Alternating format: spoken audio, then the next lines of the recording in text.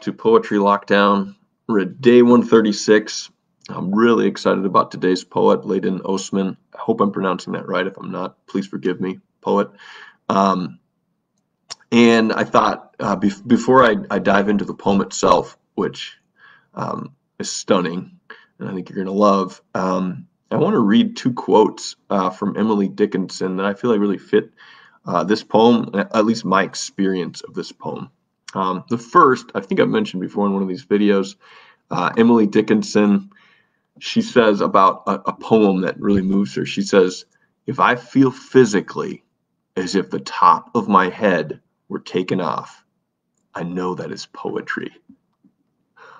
Love that. Um, that's terrific, and definitely this this poem did that for me. And also, there's another thing that that that this poem did for me um, in its sort of childlike wonder and awe especially the first part of the poem, and that is um, something that happens in, in this poem. I don't know if you ever read uh, I Felt a Funeral in My Brain. I'd really recommend it if you haven't. Uh, it's a, uh, a great poem by Emily Dickinson. But at the, at the end of that poem, she says in the poem, Then a plank in reason broke, and I dropped down and down and hit a world at every plunge and finished knowing then and that sense of free fall of, of really being free from reason but open to a deeper truth to me also fits this poem. So you're pretty select company there Ladan Osman uh, as, as terms of poets that I love and admire so great work for this poem.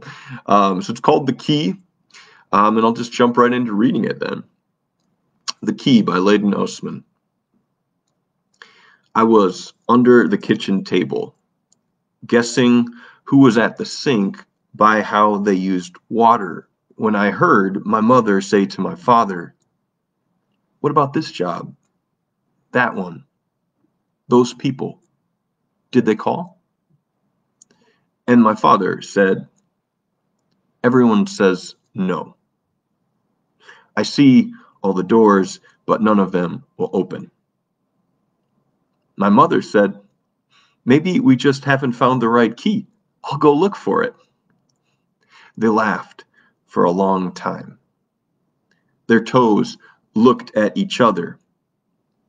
Maybe they forgot the bag of keys in the crooked mouth dresser.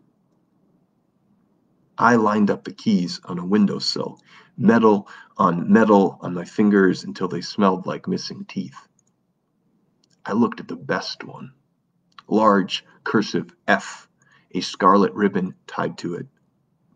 It had two teeth, like my baby sister.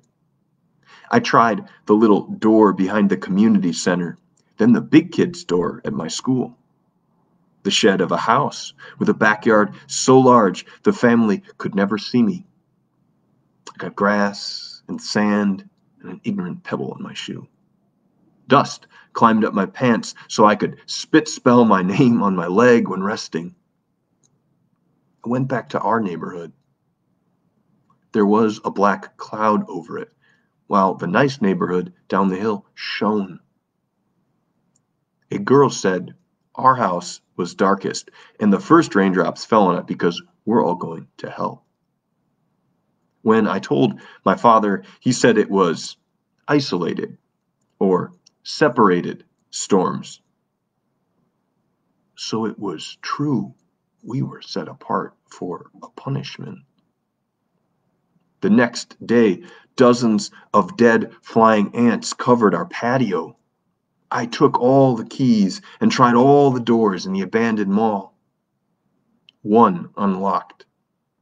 It was a room with white walls, floor, ceiling, white squares of wood, flat or leaning in every corner the door closed behind me and no key would work. Maybe the room would swallow me and I'd get invisible if I didn't stop streaming. But then a surprised guy, white, wearing white, opened the door. I wanted to try one more time, but my keys disappeared and everyone said they were never real. That was The Key by Ladan Osman. Wow, what a poem. Um, so one of the reasons that I mentioned that line, that that Dickinson quote, and I'll just read it one more time. The the, the conclusion to I felt the funeral in my brain.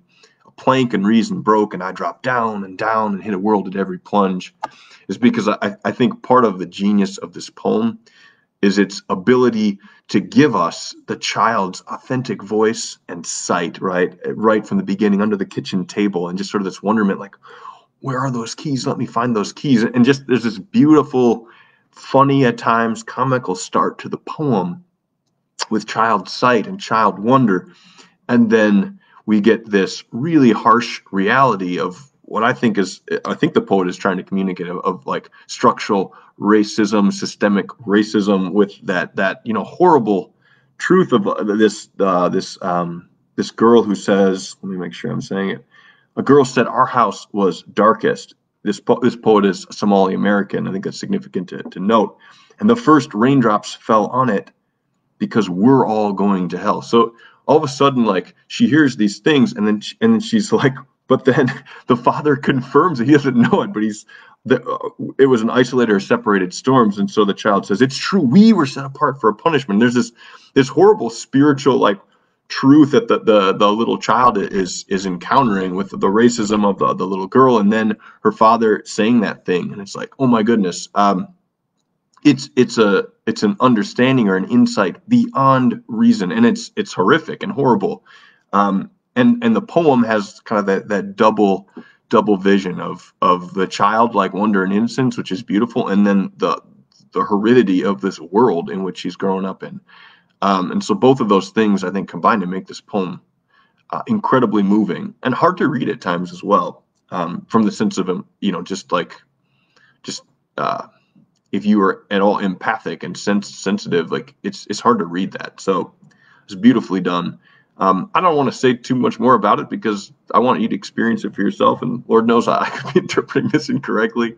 Um, at any rate, uh, Ladan Osman, thank you for this incredible poem. It, it's it's beautiful. It's been in my head and heart for you know the last month or two since I read it.